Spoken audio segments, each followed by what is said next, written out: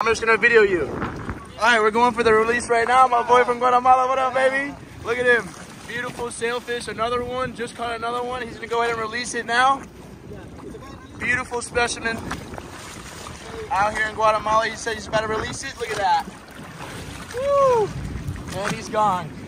Attaboy, baby. Another one.